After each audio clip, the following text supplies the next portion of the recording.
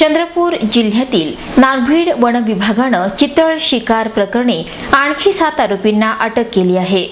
या आरोपींच्या अटकेनंतर एकूण आरोपींची संख्या दहा झाली असून या सर्वांवर गुन्हा नोंदवत पुढील तपास हाती घेण्यात आलाय.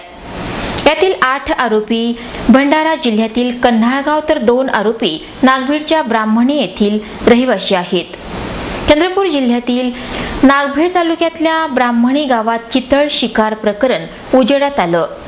ब्राह्मणी येथील संजय नारनवरे आणि अभिमन वाकडे यांच्या घरी चितळाचं मांस शिजत असल्याची माहिती वनविभागास मिळाली. त्यानुसार वनविभागाच्या पथकानं नारनवरे आणि वाकडे यांचं घर गाठत पाहणी केली असता हे प्रकरण समोर आलं.